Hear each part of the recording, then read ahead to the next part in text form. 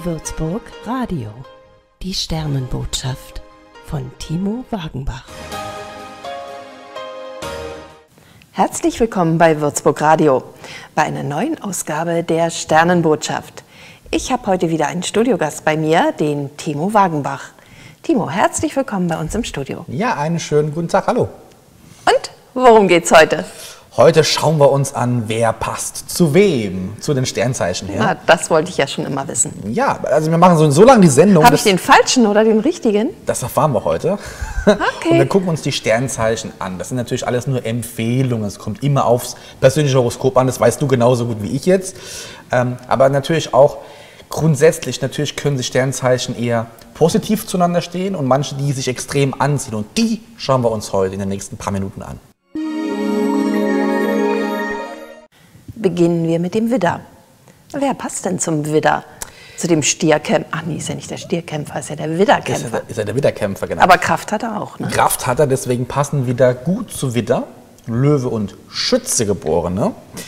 Und zwar sind ja Widder, haben ja eine starke Persönlichkeit. Ja? Also Leidenschaft und Freiheit ist ja ihr Motto. Sie bekommen, dass sie haben keine Lust auf Langeweiler, Couch Potatoes, die nur zu Hause rumsitzen. Also die brauchen aktive Sternzeichen. Und das sind diese drei Sternzeichen. Übrigens auch alle drei äh, Feuerzeichen. Deswegen Feuer unterm Hintern quasi. Also, liebe Widder, ihr braucht Feuer. Und wie ist es mit dem Stier? Der Stier will doch gerne erobert werden, oder? Der Stier möchte erobert werden und der Stier ist so ein, ach, gemütlicher Mensch. Er liebt den Genuss, er liebt das Gemütliche, das Essen liebt der Stier übrigens sehr, sehr gerne, deswegen passen sie sehr gut. Krebs, Steinbock, Jungfrauen und auch Stiere zueinander. Es gibt nichts Schöneres, als wenn zwei Stiere miteinander essen. Das sind nämlich die langen Abendessen, die über vier Stunden gehen. Weißt du, die, so, die sich um 18 Uhr ins Restaurant sitzen, die letzten sind, die rausgehen. Ähm, und ein Stier möchte ja erobert werden. Und da muss auch der passende Partner ein bisschen Geduld mitbringen, weil Stiere, naja, entscheiden sich nicht so schnell. Und deswegen passen diese genannten Sternzeichen sehr gut zueinander. Liebe Stiere, wenn ihr jemanden trefft, mit dem ihr wunderbar essen gehen könnt, dann ist es der Richtige. Die Zwillinge lieben die Freiheit. Ja. Und finden sie trotzdem einen richtigen Partner? Ja, natürlich findet auch mal der Zwilling ein richtiger Partner. Aber die sind auch gerne freiheitsliebend. Also oder, oder offen, die brauchen nicht so diese enge Partnerschaft. Also Kontrolle etc. sind bei den Zwillingen gar nicht gern gesehen. Auch der passende Partner braucht einen langen Atem, bis der Zwillinge sagt, okay, wir sind jetzt offiziell in einer Partnerschaft. Also die halten sich immer mal gerne die Hintertürchen offen. Und deswegen passt zu den Zwillingen am besten Wassermann, Widder, Zwillinge und Wagen. Wenn ihr einen Zwilling angelt wollt, dann braucht ihr Geduld. Wir sind bei den Krebsen angelangt, die Romantiker. Wer sich nicht in einen Krebs verliebt, selber schuld? Ja, weil die Krebse sind die absoluten Familienmenschen. Ja, die behüten die Familie. Also sie brauchen auch Das jemanden. ist ja auch schön, oder? Das ist schön, ja. Das sind auch diese gefühlvollen Beziehungen dann auch, ja, die mit viel Liebe da ich dabei liebe auch. Familie, du auch? Ja, natürlich. Ich bin aber kein Krebs. Ja, aber vielleicht hast du Krebsanteil in deinem Horoskop. In der Persön Wir haben ja gesagt am Anfang, es ist immer das Sternzeichen. Jeder kann auch sehr ausgeprägte ähm, Sternzeichen im persönlichen Horoskop haben. Zum Beispiel kann es sein, dass du viele Sternzeichen im Krebs hast. Das nur nebenbei. Aber die Krebse, die sind einfach ein Familienmensch und die sind auch sehr emotional. Deswegen passen sehr gut Skorpione, Fische, Jungfrau, man glaubt es kaum, aber Jungfrau hat sehr viel Verständnis. Stier, Löwe und natürlich auch Krebs zu Krebs. Liebe Krebse, für euch gibt es ganz viele Partner. Ihr seid ja auch toll, ihr Familienmenschen. Jetzt kommen wir zum tollen Löwen. Der hat ja eine enorme Anziehungskraft. Ne? Findet Ja. er trotzdem seinen Partner? Ja, natürlich, weil der Löwe brüllt ja alles Nur einen heraus. oder viele? Ach, Löwe, hat, Löwe ist einer der Sternzeichen, die schon viele Partner oder Partnerinnen haben. Also Löwe der ist nicht treu. Das, nein, nein, nein, nein, nein. Es, viele Partnerinnen, viele Partner kann es sein, dass du das alles schön immer nacheinander. Das sind alles abhakst. Freunde. Ja, offiziell, ja, wenn man es Freunde. Genau. Nee, Löwe ist ist er der, ist er, wenn ein Löwe auftritt, der brüllt ja. Der Löwe will im, Show, im Showgeschäft groß dastehen, der möchte im Mittelpunkt stehen, der steht für Erfolg und der Partner sollte ebenfalls so stark sein und nicht so gefühlsduselig wie so ein Krebs beispielsweise. Das wird für einen Löwen gar nicht passen. Ja, so ein Familienmenschen, jemand, der im Mittelpunkt steht, das passt nicht. Aber was zum Löwen sehr gut passt, sind Schütze, Waage und Zwillinge. Okay. Liebe Löwen, sucht euch einen Zwilling. Ihr braucht einen starken Partner und die Zwillinge sind es garantiert. Vor lauter Sparsamkeit denken da die Jungfrauen auch manchmal an eine Partnerschaft. Dann Partner kann ja auch teuer werden, ne? Partner kann teuer werden und Jungfrauen denken schon ein bisschen an Partnerschaft. So ein kleines bisschen. Nein, Ehrlich? Auch die, auch die Jung, ja, Jungfrauen denken erstmal an Arbeiten und an, es muss alles aufgeräumt sein. Und dann kommt der Partnerschaft. Durch Zufall, ne? Das, ja, vielleicht lernt man den Partner ja auf der Arbeit kennen. Das sind so die meisten Begegnungen, die die Jungfrau. Also die suchen nicht ganz hat. bewusst, ne? die gehen nicht tanzen und Geld ausgeben nee. und so. Ne? Also es klingt jetzt fast, als ob Jungfrauen total Langeweiler wären, aber Jungfrauen haben eben einen strikten äh, Durchsetzungsvermögen und auch so ein, so ein ähm, die, die haben so einen, einen Weg. Plan, genau, einen Weg, ne? einen Plan. Die wissen genau, was sie wollen. Das haben andere, zum Beispiel der Fisch hat das überhaupt nicht, aber die Jungfrauen wissen genau, was sie wollen. Äh, sie haben Durchhaltevermögen, wie du sagst, Spaß. Die flattern nicht und heiraten nur einmal. So auf die Art, genau.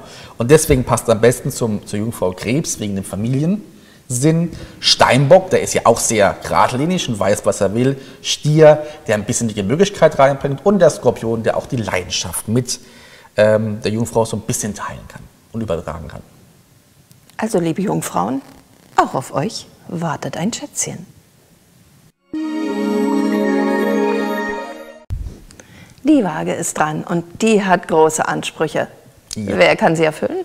Ja, und die Waage ist diejenige, nicht wie der Löwe, der äh, äh nicht unbedingt treu ist. Waage haben die Ach, vielen die Partner. Flattert? Waage sind die schönen Menschen. Waage haben die Ausstrahlung. Waage äh, Menschen haben diese Anziehungskraft auf andere, die sie gar nicht, naja, wie sagt man denn? Äh, Ach, die kommen in den Raum ja. und der Raum strahlt? Ja, so auf die Art und Weise. Ja, Waage ist ja das Partnerzeichen schlechthin äh, von den ganzen Sternzeichen. Wenn man in der Astrologie tiefer jetzt mal eingeht, kleiner Exkurs, Partner ist das, also die Waage sind das Partnerzeichen im Horoskop. Ist das siebte mhm. Haus, siebte Haus, Partnerhaus, Waagehaus. Das ist die Beziehung. Ich habe immer gedacht, das so. sind die Zwillinge, die sind ja schon doppelt als Paar. Do ja, aber Wagen sind, oh, die ist die Partnerschaft. Also die finden auch viele Partner und wickeln die um die kleinen Finger drumherum. Die sind auch sehr harmoniebedürftig und wenn man der Partner von der Waage ist, muss man auch sehr viel Konkurrenz aushalten können.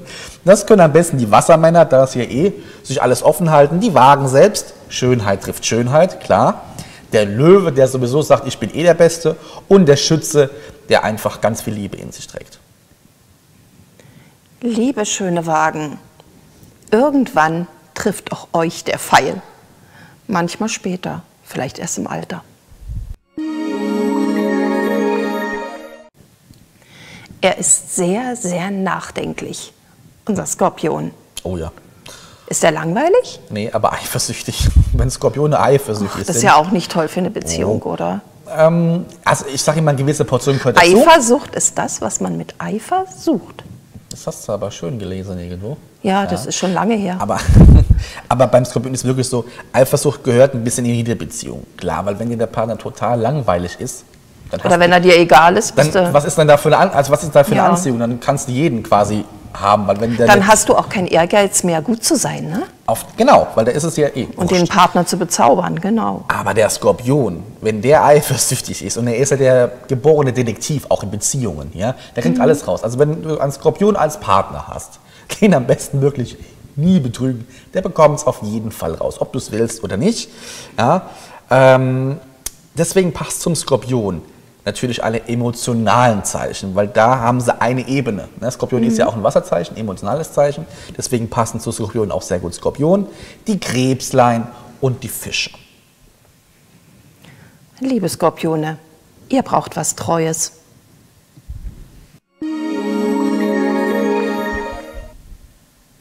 Mit dem Schützen kann man Pferde stehlen. Und wie sieht der Cowboy oder das Cowgirl des Schützen aus? ja. Der Schütze, der steht auf ehrliche Menschen. ehrliche Partner. Schütze ist die Ehrlichkeit sehr wichtig. Ähm, was er überhaupt nicht mag, sind Machos. Also wenn zum Beispiel jetzt eine Schütze Frau, Macho Mann geht gar nicht. Gibt es auch umgekehrt. Gibt es seltener, aber gibt es auch umgekehrt. Deswegen Schützen sind eine Frohnatur. Die, die lieben die Liebe, die haben viel Liebe in sich. Ja, das liegt auch an ihrem am, am Horoskop vom Schützen. Die sind, äh, wie gesagt, sehr, sehr gut drauf. Deswegen passt zum Schützen sehr gut der Widder weil er viel Energie hat, die Waage wegen der Schönheit und wegen der Liebe und der Löwe, weil er auch mal auf den Tisch hauen kann. Liebe Schützen, ihr liebt die Liebe, ihr liebt das Leben, ihr liebt die Schönheit. Hm, ist doch toll, ihr findet auch den richtigen.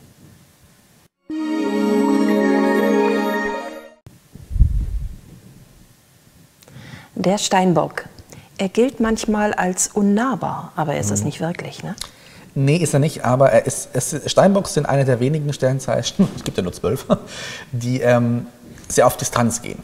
Also so ähnlich wie Jungf also Jungfrau und Steinbock haben viel gemeinsam. Man glaubt passen kaum. die auch zusammen? Äh, die passen auch zusammen, haben aber viel aber haben ist so diese Einstellung Arbeit, Arbeit, Arbeit. Jungfrauen sind aber eher diejenigen, die Arbeitnehmer sind und Steinböcke sind eher die karrierebedacht sind. Das ist der, also das ist der kleine feine Unterschied. Genau, der Chefs. Und immer wieder auf, auf, ähm, beim Aufsteigen.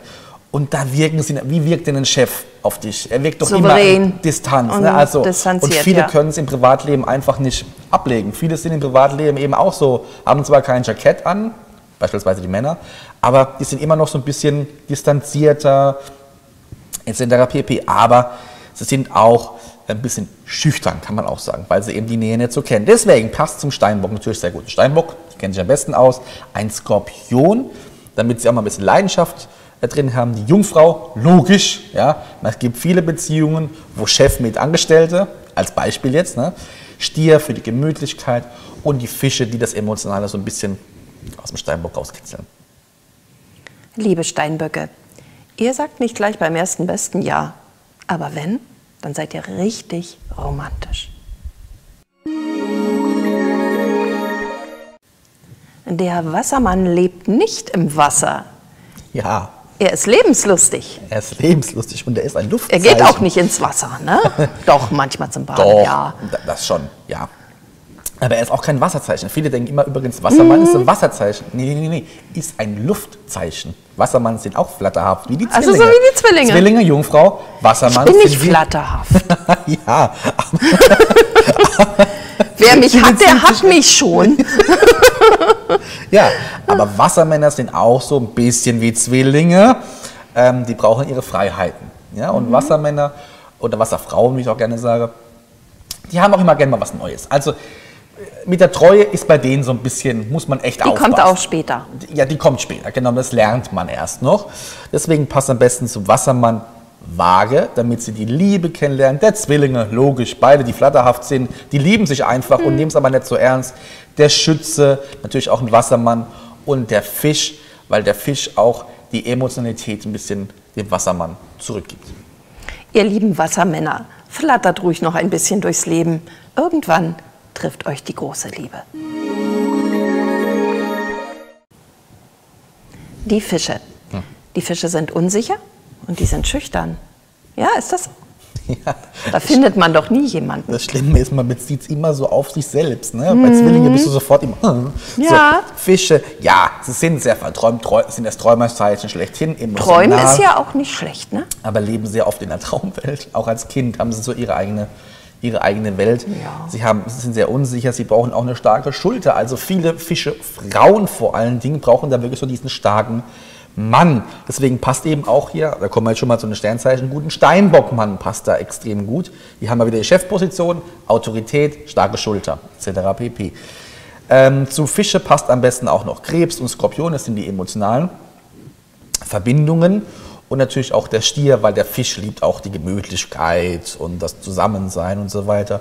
Und hier haben wir zum Beispiel auch einen Fall, wo ein Fisch nicht zum Fisch passt, weil emotional auf, auf unterer Ebene starke Schulter, beide können sich keine starke Schulter geben. Deswegen hier zum Beispiel passt kein Fisch. Liebe Fische, sucht euch was Starkes, denn ihr braucht die Schulter zum Anlehnen. Jetzt wisst ihr, wer zu wem passt. Der Timo hat es uns gesagt. Und wenn es mal schief, äh, schief geht, dann wissen wir, wer schuld ist. Ah, mit du mit deinen Ratschlägen. Ich bin immer schuld. Und wenn Sie aber Ihr persönliches Horoskop haben möchten, wo man genau im Horoskop sehen kann, wer noch zu einem passt und wer vielleicht noch ein bisschen besser passt, weil das individuelle Horoskop ist natürlich, wie ich schon sagt, individuell wie ein Fingerabdruck. Einfach über würzburgradio.de gehen, uns eine Mail schreiben, auch für die Sendungen Anregungen haben oder Sie gehen auf meine Homepage astrologie-wagenbach.de, da können Sie private Beratungen buchen, auch den 13 Minuten Rundumblick. Das heißt, in 13 Minuten erzähle ich dir, was in den nächsten Monaten kommt. Man braucht keine Stunde, keine halbe Stunde. Innerhalb von 13 Minuten hat man das durch. Und wenn man es mal verpasst hat, man kann auch auf würzburgradio.de gehen. In unserer Mediathek sehen Sie alle Beiträge mit Timo Wagenbach. Würzburg Radio. Die Sternenbotschaft von Timo Wagenbach.